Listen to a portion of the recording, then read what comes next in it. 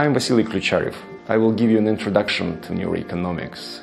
This field combines neuroscience, economics, and psychology in order to create the new theory of decision making. The extended version of neuroeconomics has an ambition to create a revolutionary new theory of human behavior. We will answer many important questions during this course. Can we predict our decisions based on our brain activity? Can we change our decisions by stimulating our brains? Why do we behave so irrationally quite often? And our animals are also involved in economic transactions into biological markets. I study and teach neuroeconomics for seven years in the leading European labs. And this course is based on my lectures here in Moscow and at the Erasmus School of Management and University of Basel in Switzerland. Overall, I hope that this course will change your opinion about the nature of human decision making.